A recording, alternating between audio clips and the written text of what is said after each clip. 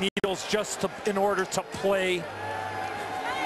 When you have the opportunity to challenge for that Stanley Cup, you do whatever it takes.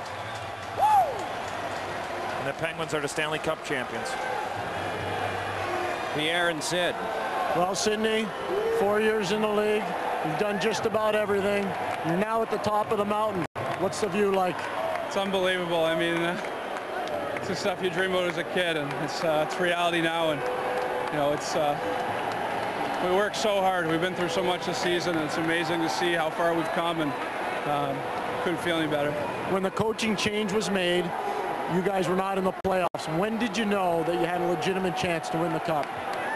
Well, I don't think until we got in the playoffs, you know, we were battling so hard to get ourselves just in the playoff picture. But, you know, once we got by Philly and, you know, we felt pretty confident against Washington. And, you know, we just seemed to pick up momentum as the, as the playoffs went on. And it was a great series. It was tough, but, uh, you know, we thought, we thought we were tested all along the way. And, you know, we came up big here. guys played great. You got injured in the second period. Obviously, there was a question as to whether you would play in the third. Did you stand and say anything to the players before you came out for the third period? No, just wanted to keep doing what they were doing. I mean, you know, we did a pretty good job of keeping things, uh, you know, away from Flower, and he was doing a good job of making the saves when he needed to. But, you know, Max came up with some big goals there, and, you know, we just wanted to play the same way. But uh, it's not easy watching, especially this time of year.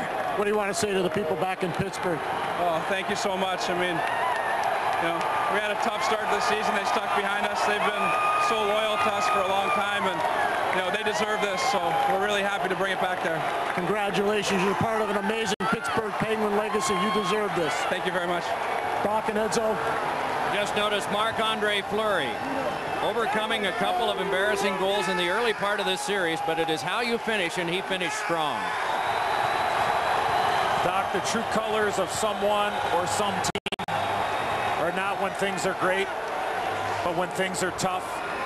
And I think Marc-Andre Fleury certainly showed what he was made of under the adversity of getting pulled in game five, bouncing back, making some great stops in game six, that late save. You talk about Stanley Cup winning saves, Doc. That happened 60 minutes ago in the world of the National Hockey League. The stop on Dan Cleary to keep it a 2-1 Penguin lead. But to me, Marc-Andre Fleury is an elite goaltender and made an unbelievable stop at the end of the game to give the Penguins the Stanley Cup championship. Can't imagine how he can put his thoughts into words, but he's with Pierre. Marc-Andre Fleury, your first coach as a professional was Eddie Olczyk. He just said your save at the end of the third period was spectacular. Take us through that save. Uh, yeah, I knew there wasn't much time left. I, uh, the rebound was wide, and I saw it start coming into it. So I know I just tried to get uh, my body out there and uh, hit me in the ribs, so that was good. They started to have a big push at the tail end of the second period, then through most of the third. How did you stabilize things? What was the mode of communication in your own zone? Uh, you know, they're a good team. You know, we got to give that to them, and they worked hard till the end. And they give us a hard time, you know, to, to get out of our zone. But uh, the guys stay com composed. We stick to our game plan, and they work out well. You've had a tough time winning in this building. The last time you won in this building in the playoffs was Game Five last year in triple overtime. What was your thought process coming in to Game Seven? Uh, you know, forget about the first three ones and uh, just start over again in this one. And uh, you know, it's it's awesome. awesome. The cup weighs 35 pounds. I know you're tired from facing a lot of shots. How heavy is it? Um, I don't know, it wasn't too bad, you know. Still not, not a bad adrenaline, you know, to get that up, so it was fine. It was fine. Thanks a lot, Marc-Andre. Merci beaucoup. Doc, Edzo. Saves 22 and 23 were spectacular. Matt Cooke and his Well, you saw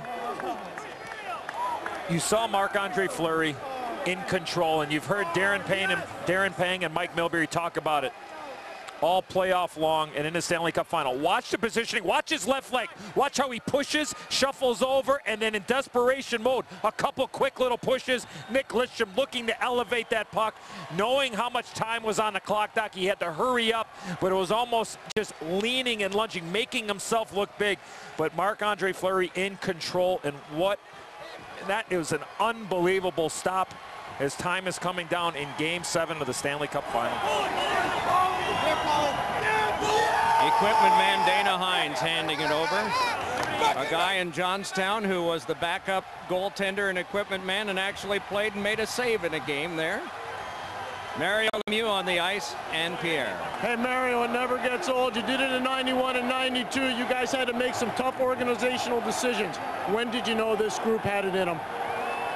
Well, we knew all along from last year going down down to the, uh, um, you know, the Stanley Cup Finals. But uh, anytime you have Sid on your team and Malkin and Fleury and Stahl, and we can go down the line, uh, I think you have a chance to be successful. Uh, we had a tough year this year, but uh, made some changes.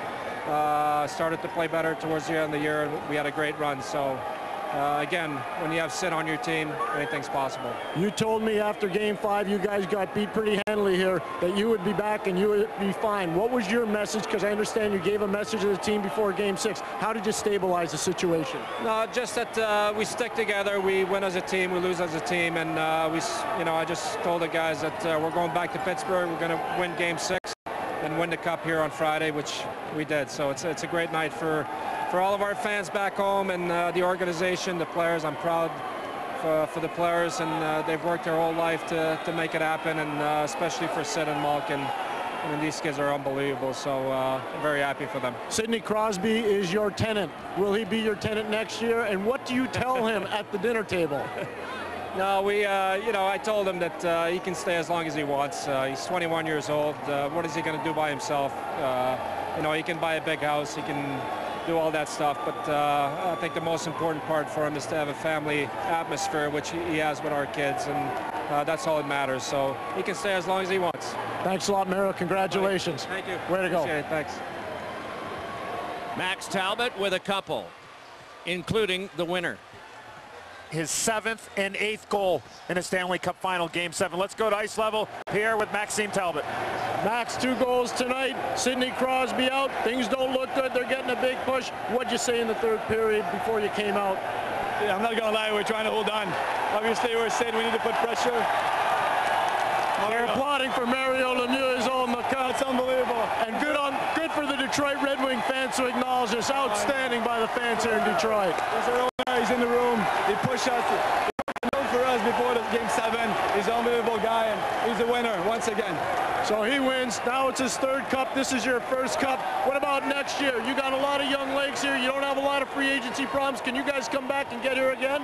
Well, we're gonna enjoy this first before we think about next year. But I think we have a great core, uh, a guy. You know, we got a great group, and who knows? You know, we can do it again next year. But we just want, we're just trying to enjoy that. You're the guy that stabilizes Marc-Andre Fleury. What did you do? I gotta get in the picture. Okay, you got you Yeah, you I got love Marc pic- Andre. Great goal. He loves Marc-Andre Fleury. Great goalie, and he taught Rob Scuderi how to play goaltender for game number six. That's why we had a game seven. Doc and Edzo. The celebration goes on here in Detroit. And the age-old Stanley Cup will have all of these names. If you play a game in the final or 40 in the regular season, automatically your name is one of the 52. That is the limit, 52 that will be on. Mario Lemieux will have his name on for the third time, though not as a player this time. My, this has been something. Began on January 1st at Wrigley Field and now finishes up at Joe Louis Arena in Detroit. Named for a prize fighter, with a prize fighter named Ali on hand to watch it. Terrific spectacles all year, and the best spectacle of all was the effort that the players left from round one to round four and the last two saves by Marc-Andre Fleury. Thursday, Tiger Woods begins the defensive